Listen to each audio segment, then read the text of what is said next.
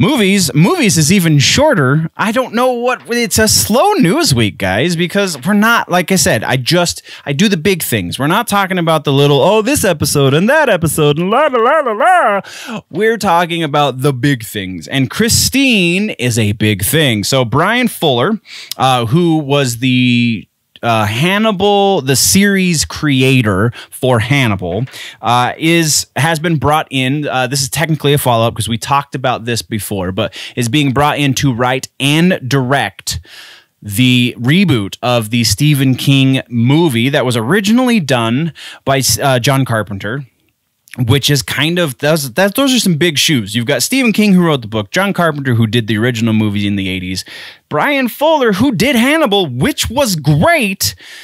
He still has that's a pretty large shadow to get out from. So uh, we will, as things progress, we will definitely still be keeping tabs on this. But this is all we have for the movie section.